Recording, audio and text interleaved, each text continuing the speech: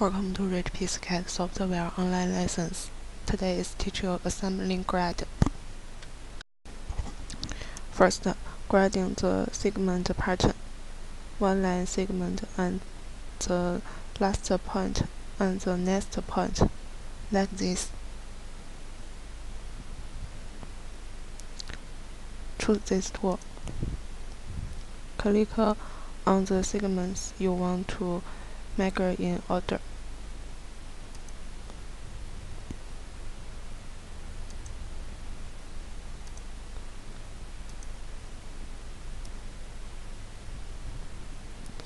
After this, right click to finish. Thanks for watching today's video. See you tomorrow.